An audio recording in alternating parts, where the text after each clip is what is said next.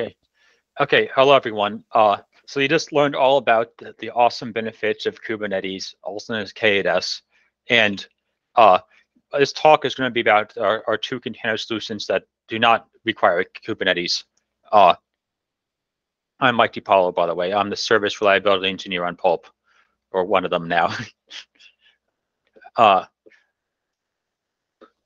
so yeah, uh, you know, the, one of the questions will come up is why have all these container solutions that don't require Kubernetes? You know, Kubernetes is great.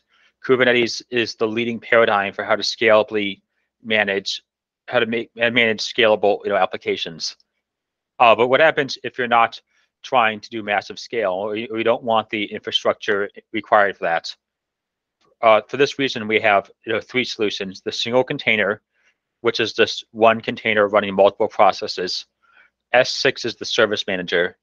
Um, we have the OCI development environment, and we have uh, Docker Compose, which does feature multiple containers. So how do they relate to each other? So like I said, in a single container, you know, you have multiple processes.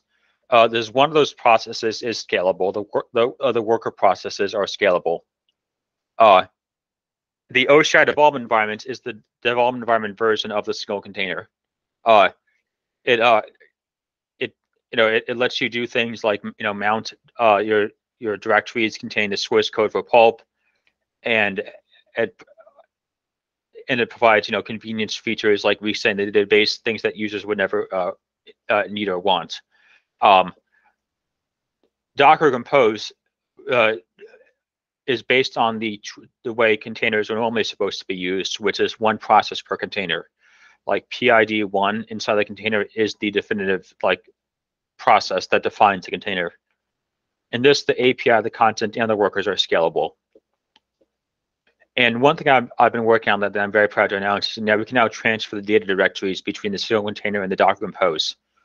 Uh, so users can migrate easily between those two solutions. Yeah.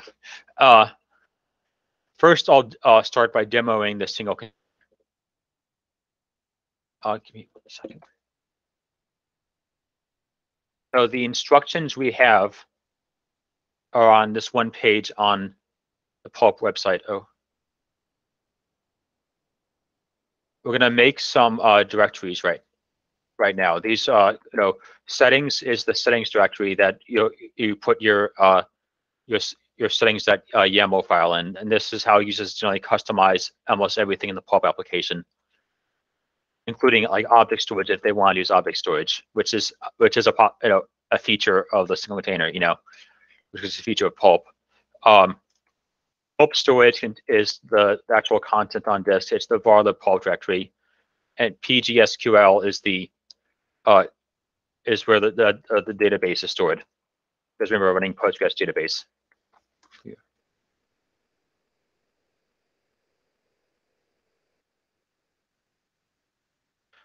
And now we're just going to create a simple uh, settings.yaml file. And the content origin is always tricky because uh, it has to be set to the actual URL that users will access. But because we're using a shell here, we can put the host name of the host, my lap, my developer laptop, in the settings.yaml file. Settings.py file, actually. I mean, I'm misspeaking. It's settings.py. Though I believe it could be a YAML file because we are using Dynaconf for the configuration. You are Though correct. I always Yes. a Python file. Yeah. Right. That's a, that's our de facto convention. Yeah. And I have SELinux enabled, so there's going to be an extra option to this command. You notice this command, basically what it says is, you know, dash dash detach says, uh, don't like block the terminal. Just like let the, don't, you know, don't let me continue the terminal after running. Publish 8080 uh, is, uh, it, means that the, the application will be accessible on the host at port 8080 the name of the container will be pulp. Then we have those directories, and we use this to so that the container can create its own file systems, uh, internal file systems, dev slash fuse. And the image is called pulp slash pulp. That's where it's known on all the container image registries. We support three different registries: Docker Hub, Quay, and GitHub Container Registry. And it turns out I already have a container named pulp. So um, I have to delete that first.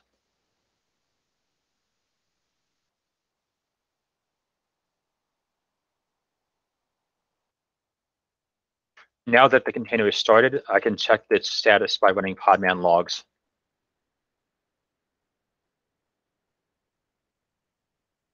This is going to follow along as the container starts up. It's doing some magic like it's modifying the permissions on the Postgres directory.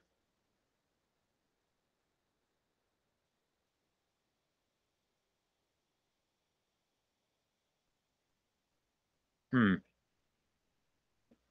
Okay, this is weird. It should be further along than this.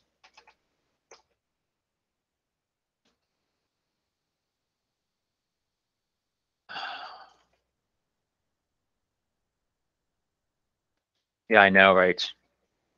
I did modify the permissions on it. Okay, it, it's it's first further along now.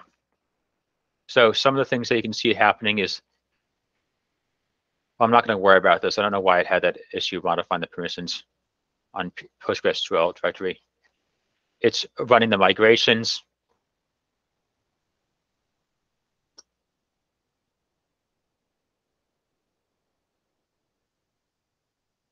I'm going to make sure that the container, that PGSQL directory contains the database.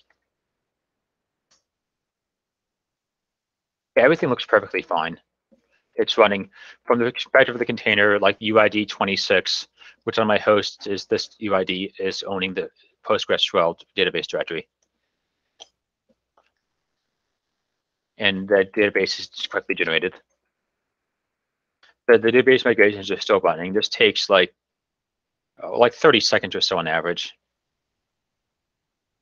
Yeah, there it is. It's finished this click env error is harmless. We have a known issue for that of and up.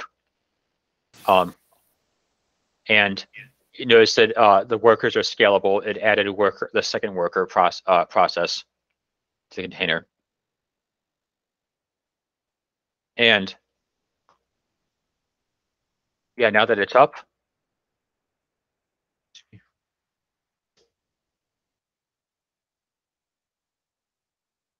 Oh, did the redirect happened?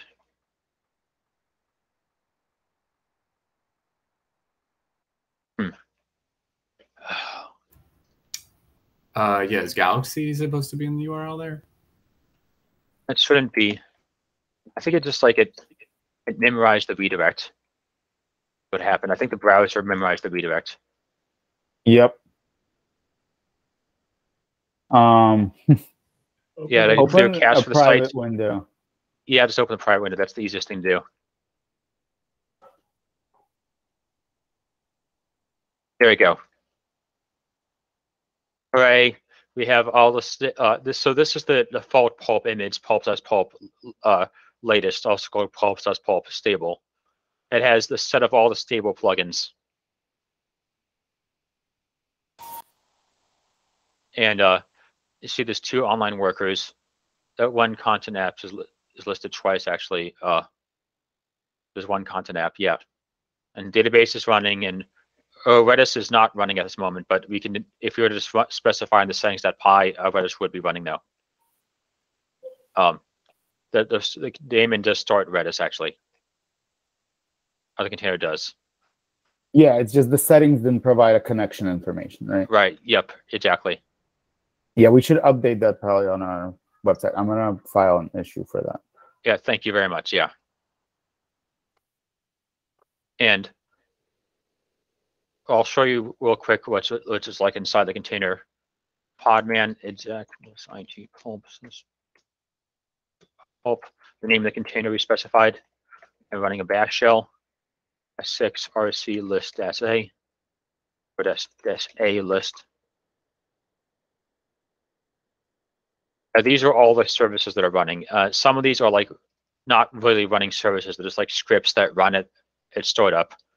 Other ones like Pulp Core API, PostgreSQL, Redis, Nginx, those are actual, those are actual long running services. And let me think, see what else I have to go back to my slides. We created the persistent directories and the in the settings.py, we, uh, we have another image you can pick too, and this is into the unstable image of pulp. You can also pick pulp Galaxy NG. Um, and one, so one thing we can do is we can pass the number of workers. So I'm going to restart the container with a with more than two workers this time. Admin. So this will be safe. This will not delete the data directories, but will delete the container.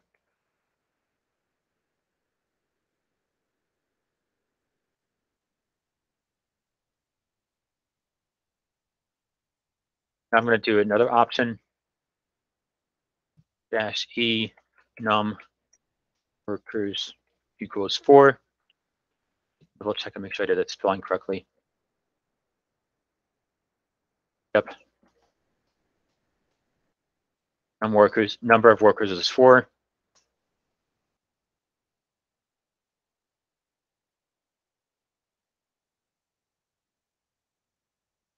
Uh, this time the PostgreSQL uh, permission script did not hang. Database is migrated already. It's not spending 30 or 60 seconds migrating database. And oh yeah.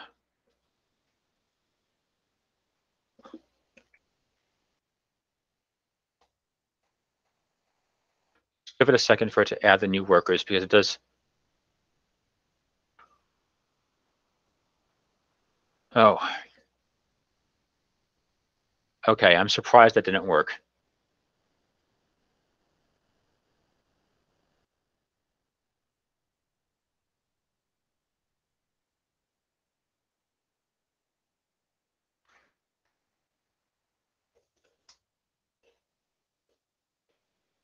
Oh yeah, I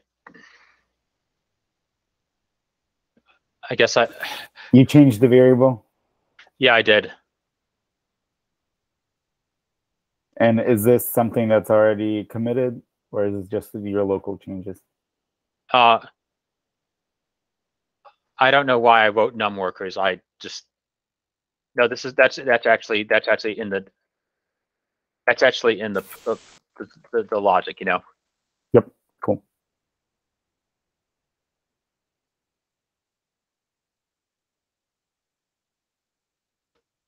Sorry, I'm nervous. I'm just, just typing.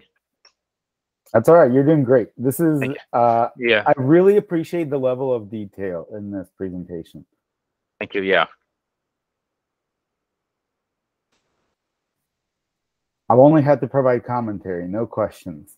Yeah.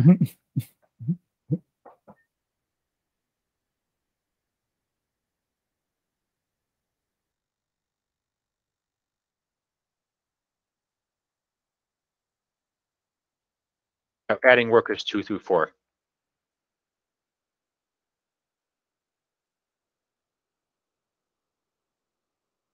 Now, if I go back to this, yeah, there's four workers. Woo! Yep.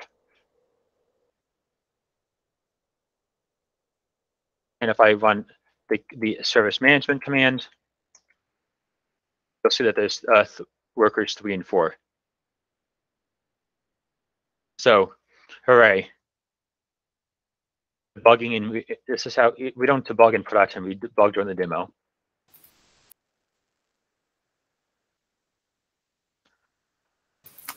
Kind And, of uh, the most production that we get.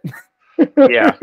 right and uh, if you want to so there's no it's harmless to delete and recreate the container really like it's it but you could also just use the built-in doc uh, podman feature and stop and start it so uh, i do podman stop hope wow again And all these commands that work in Podman, they'll work equally well in Docker, by the way. Uh, like there's there's like there's there are some small differences between Podman and Docker, but there's like none are actually remotely relevant for this case. Um, and now I can just do Podman start pulp, which is quicker to type than running the long uh, create like run command, which basically is create and run the container is what it's it's doing. now that the container is starting up again, it starts up in, you know, seconds.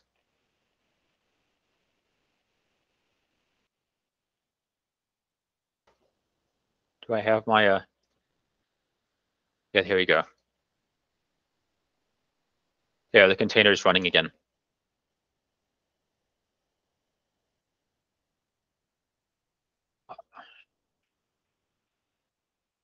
So some of the things that are uh, uh, to do for the pulp uh, single container, uh, we want to specify Gunicorn CLI options. Um, so many most settings for pulp are in the settings.py file. Like you, know, you can even switch object storage with this settings.py. Uh, but uh, there are some options for Gunicorn that users should be able to specify. Like they can actually scale the number of worker uh, sub-processes. Uh, uh this is something that's in Pulp installer that's not in the single container yet. Um, both minor and microtextual images. So basically, due to legacy reasons, before the container images were unified, uh, like some container images have like x.y, other ones have x.y.z. We want to be able to specify both, and some of them don't have either of those. We want to we want to make those versions permanently available. Uh, token auth is not implemented yet. Um, we also have a separate container, like it'll be like latest SSL or 3.20.1 SSL. We want to instead just do an option like dash E uh, SSL to do SSL mode instead. Uh, many users have requested a sample Docker file so they can build it in their environments and understand exactly how it's built. But we currently have basically like we have three layers of Docker files or container files that uh, would provide the pulp slash pulp image. So we can concatenate them together and do that during and put them in the docs, and that needs to be done during the docs build process. And finally, we have a new documentation website, but it's really incomplete, so we'll be adding to it.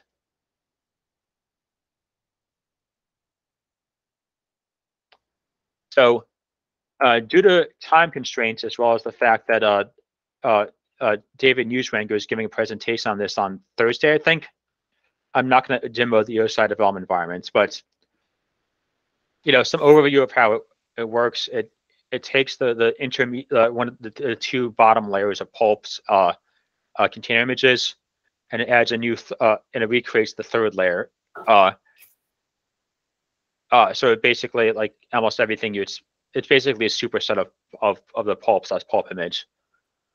You cool. you run you you you use the OCI command that builds it and then and then and then uh, launches it with the up command.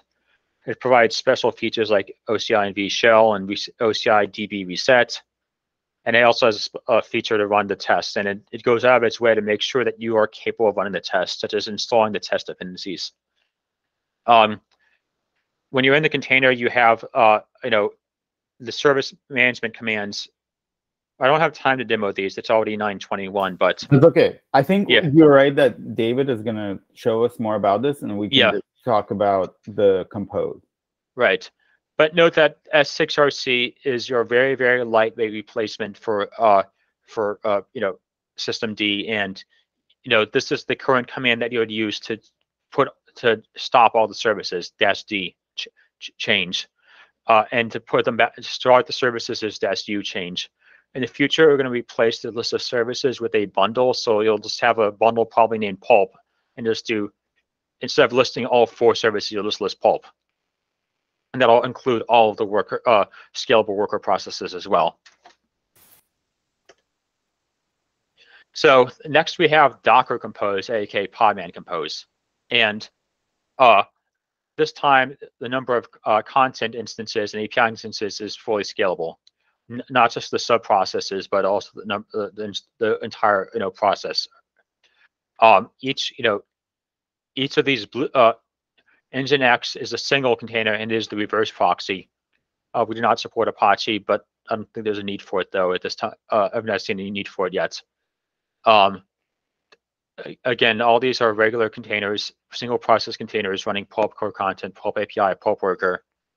They access Redis, which gets stored to a directory on disk, or potentially a like a a semi-permanent uh, Docker or Podman volume PostgreSQL is also its own contain, and Redis is its own container. PostgreSQL is its own container. There's only one of those e- of each of those, at least for the time being. Um, and then the storage backend is by default uh, the file system, or which can be a folder on disk or a Docker uh, managed volume. And you can also specify via settings the object storage. Um, so I'll I'll demo launch I'll, I'll launch the Docker Compose environment right now. One minute.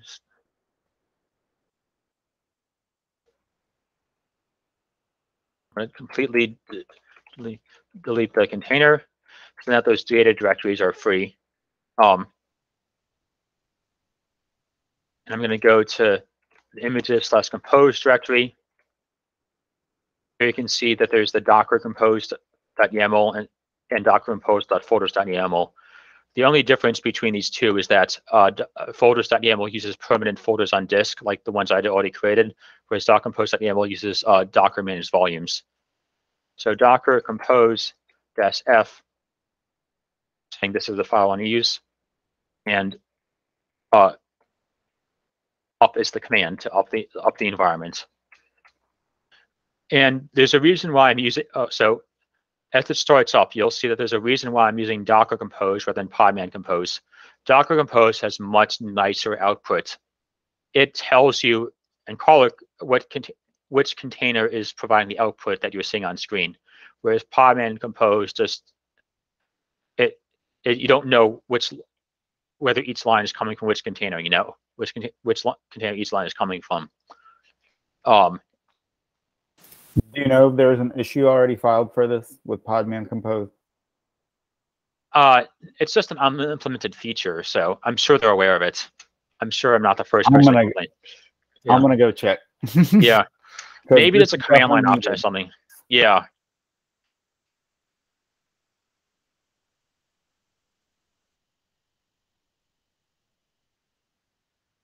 So these are waiting on Postgres. Uh, Oh.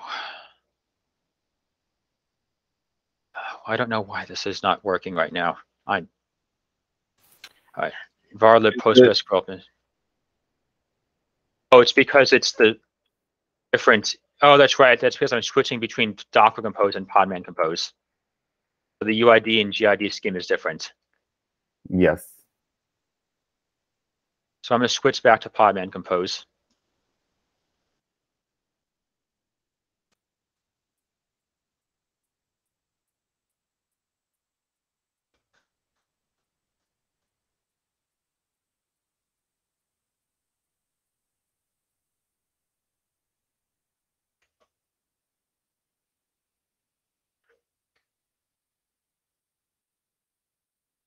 So it's pulling the images for uh, it's pulling the the lightweight uh, images right now uh, that, that just that don't have S6 and everything in them.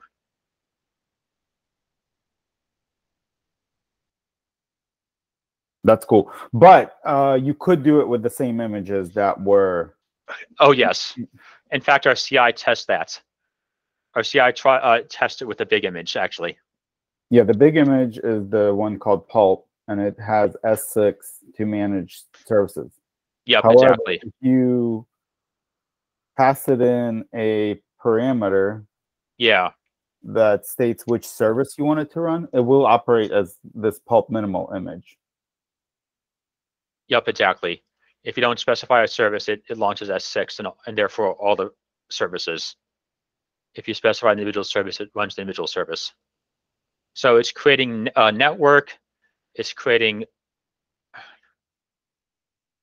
creating net networks and it's creating the, the pulp web the main pulp image is creating the pulp web image with this you know pulp web is nginx with all the config files for the uh for the uh for the uh for the plugins the config file snippets. So this time the it actually finds the the the, the migrated database because the database is actually is running correctly. You can yeah again, you can migrate easily between these two containers solutions, but you can't migrate from Podman Compose to Docker Compose without running without running special chown commands that we have not uh, run up and prescribed yet. Yeah. Um, Uh, yeah, I don't know if we need to uh, be providing information on how to go from Podman uh, from Docker Compose to Podman Compose. It's like I feel like it falls slightly outside of our domain. Yeah, it's Oh. it's not strictly needed. It's it's something I'm I'm guaranteed to do though. It's it's something that I, it's I Yeah. mean, yeah, I think we could have a little note in our doc okay. saying that Yeah. if you see this error, check the permissions. Yeah.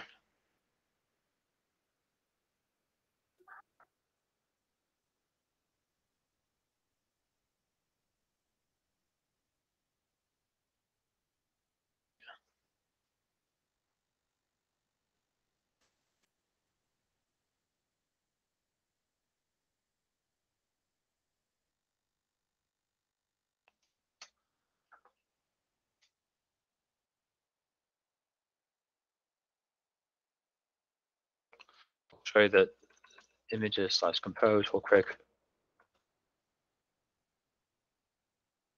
This isn't uh you know extremely uh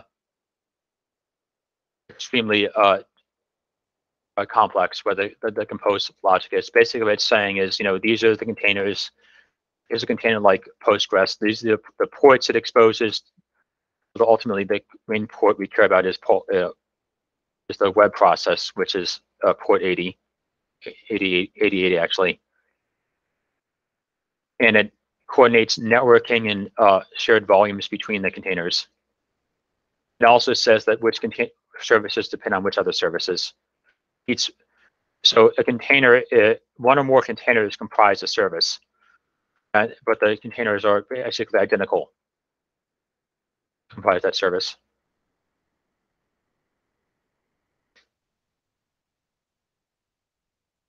There you go. There's the status page.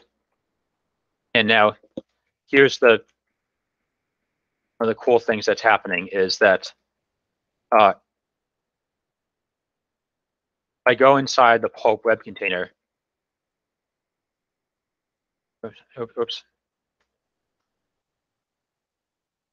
I can run the ns lookup command, and you see this is how it accesses those multiple pulp content uh, pulp content uh, containers.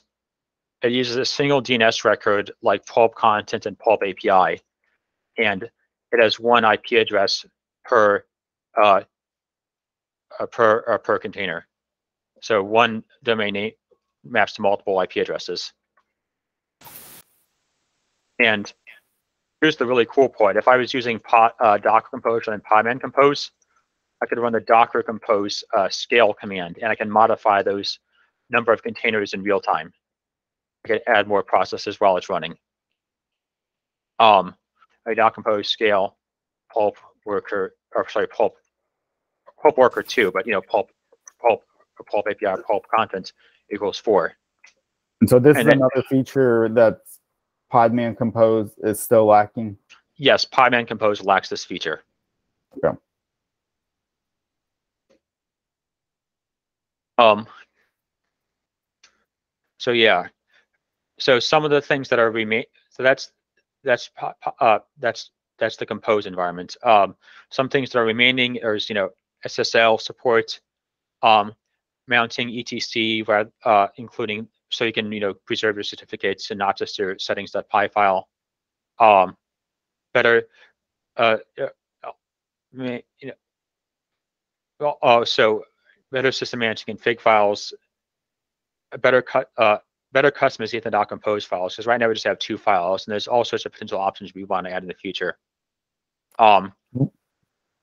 and and right now Nginx is it's use it's accessing multiple servers, but for full customization, we want to be able to use upstream server groups. Using this with DNS with a dynamic list of servers is a paid feature, so you have to write your own workaround uh, for Nginx to do that. Yeah. And as I mentioned before, you know, you can transfer these uh, the pulp Mhm. storage and the Postgres directory. Yep. Um, you mentioned uh, a to-do of better management of, of config files. Um, can you tell us more about what config files you mean? I mean, right now we have this uh, settings dot Yeah, I'm, I'm specifically referring to settings.py. Settings.py. hmm And settings.py, like we provide a sane set of defaults, but if you modify, if I were to modify settings.py, I were to do uh, uh what would be a know? You can do cache enabled false or something. I don't know. Yeah, yeah. I'll just do to equals true. I want to be uh, a good citizen and report to pulp what I'm, uh, what uh, what I what I what what what awesome plugins I'm using. Um, so now, if somebody wants to get the latest stuff, get pulled dash dash rebase. I can't do that. So we want to make the it's we want to you know customize the etc directory. You know I got you. uh, or create like a we want to generate the etc directory just like we do for the pulp uh, for the single container. Yeah, yeah. But which is just documentation for the user. Well, and also, yeah. one of the things you mentioned that you want to add is the ability to mount volumes, right? Uh, I mean, we we mount That's- volumes right now, but we have separate Docker compose files that. Like, like this right here is a is a, is a pulp volume, whereas this is a pulp folder. You know. Mm-hmm. To your question. And the uh the uh, I well, so right now you said we mount volumes. Uh, Right. yes, we if you're using the folders uh version of the of Docker Compose. On the right, you can see the uh, on the left you can see folders.yaml. On the right, you can see the regular one. Uh-huh. What are th- uh, these? Are two separate compose files? Yes, Okay. on the left is the is the folders.yaml. On the right is the regular one. Okay. The regular one uses volumes. And the volumes are managed by Podman or Docker. Versus Correct. with Yes. the folders, you as the admin running this, you created these folders and they're managed by the host's file system, basically. Yes. It's it's like admin managed basically. Yeah. Okay. Thank you for clarifying that.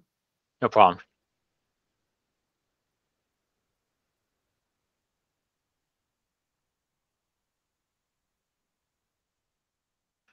All right, so like I said, the big thing is you can transfer your, your data directories between those uh, two solutions. And, you know, as I mentioned before, they're, they're now based on two, a base container file, actually two layers of container files.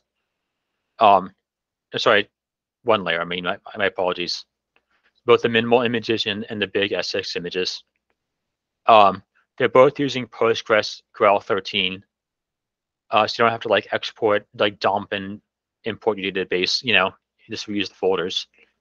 They have the same set of plugins. Um, the static content is now baked into both images rather than generated at runtime.